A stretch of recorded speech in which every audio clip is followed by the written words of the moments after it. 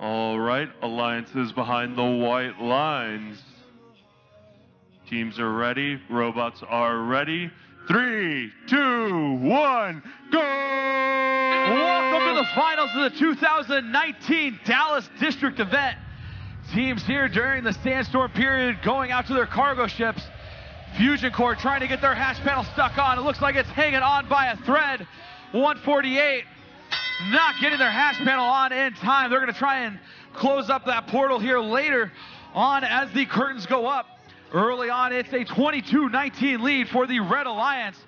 Red and blue both quickly scoring some cargo here in the teleoperated portion of finals match number one. 66-72 coming back, loaded up with some more cargo.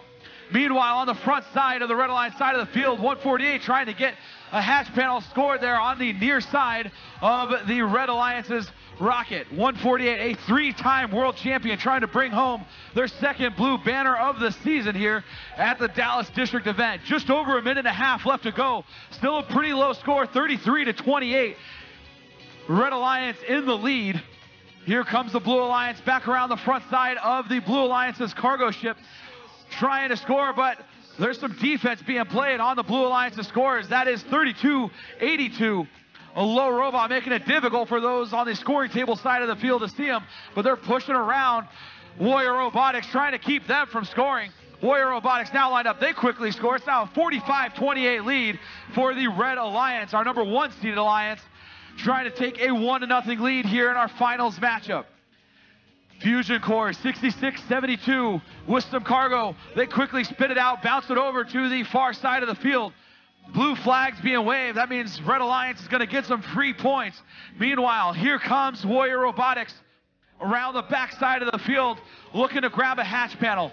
148 with some cargo. They're going to try and score it down low on the near side Red Alliance rocket. One goes in. That's another three points for the Red Alliance, who now leads 54 to 31. Another hatch panel with the Robo, with the Robo Wranglers trying to score on the far Red Alliance rocket. It's on. And here goes Fusion Corps going up to level three for the Red Alliance. Looks like Equus Engineering and their two alliance partners going to try and go to level one. Fusion Corps almost up high enough to get a level three climb. They're up. They're going to try and pull their stealth up. Wrangler still trying to score. They get one. Can they get a second piece of cargo scored? One second left. And there's the buzzer on finals match number one.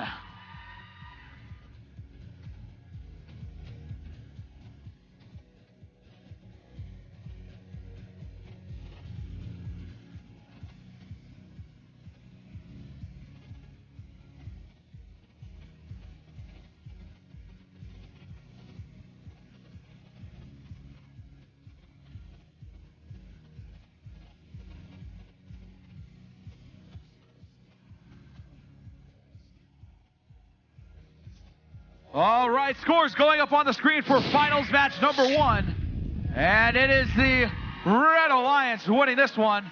Final score 82 to 45. Red Alliance